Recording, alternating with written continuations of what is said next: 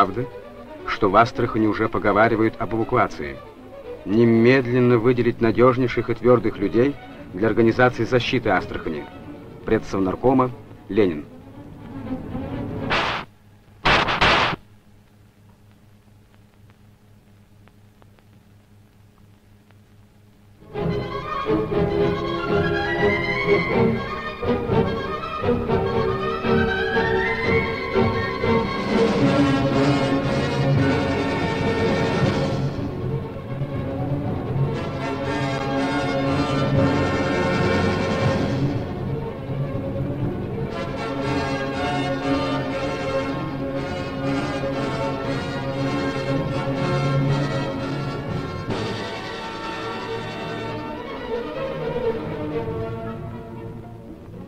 Востока Колчак, с запада Деникин, с моря интервенция англичан.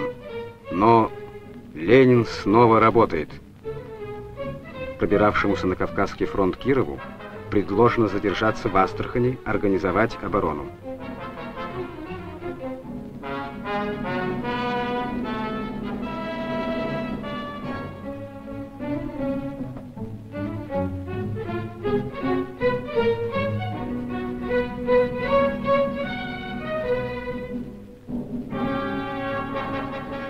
Кабинет Сергея Мироновича превращается в боевой штаб.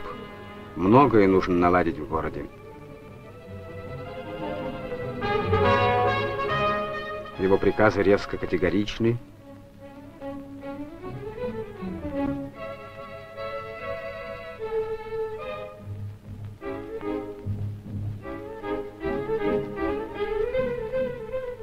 Его улыбка светла.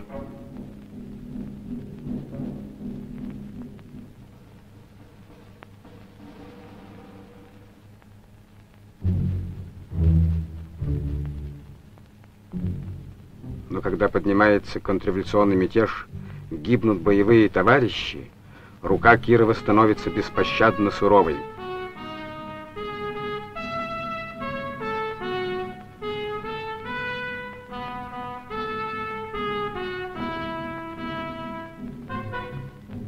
Для организации защиты Астрахани, для проведения самой твердой политики до конца, Киров выделяет надежнейших и твердых людей.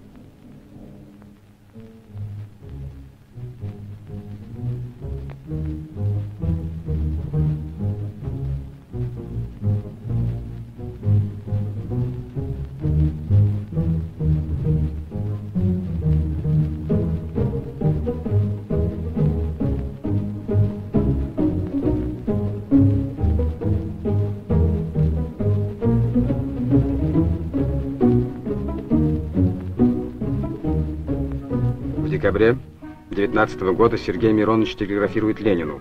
Спешим поделиться с вами революционной радостью по случаю полной ликвидации белого астраханского казачества.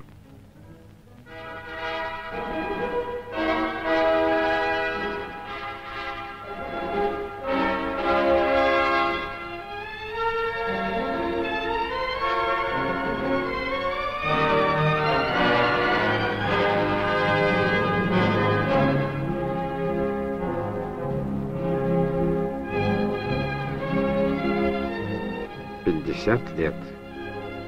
Но разве забудешь свою отважную молодость? Они приехали в Черный Яр с разных концов страны.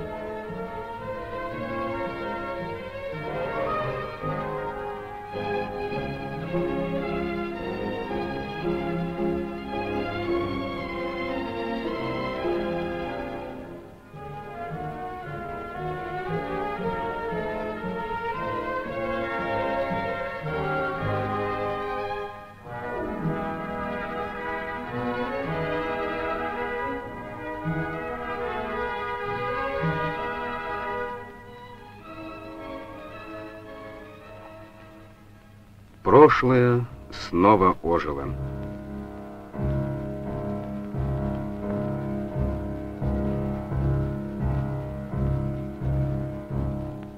Этим аппаратом Морзе Федор Федорович Пестролетов, тогда начальник штаба обороны Черного Яра, поддерживал связь с Астраханью и Москвой.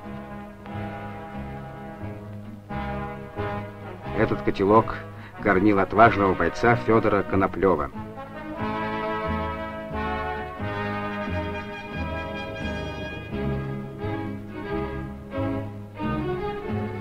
Эскадренный миноносец расторопный. Командир корабля Александр Александрович Пероте оставил в Черноярском музее свои воспоминания.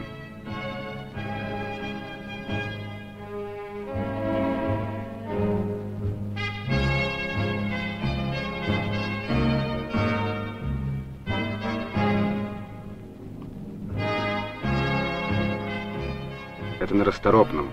Комиссар Волжской флотилии, корреспондент «Известий», легендарная Лариса Рейснер ходила в глубокую разведку по Волге.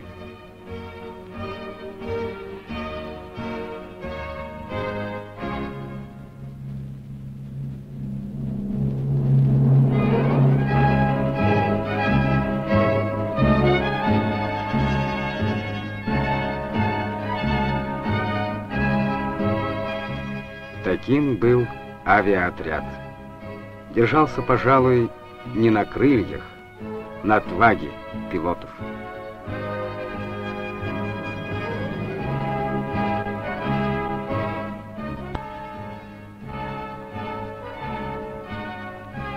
Пулемет системы «Шокс» с английского самолета, сбитого под Черным Яром летчиком Щекиным.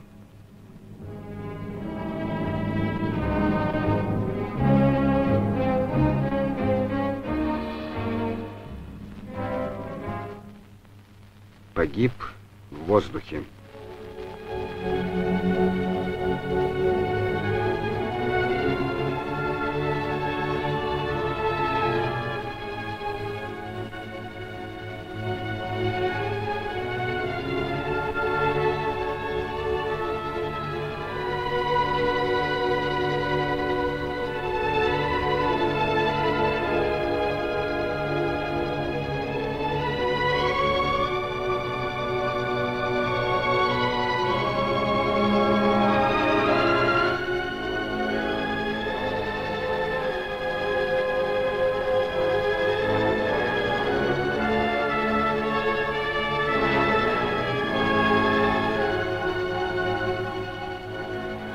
Черный Яр был для Деникина воротами в Астрахань, но закрытыми воротами. Он не мог их открыть ни огнем, ни железом. Черноярский гарнизон остановил Белую армию.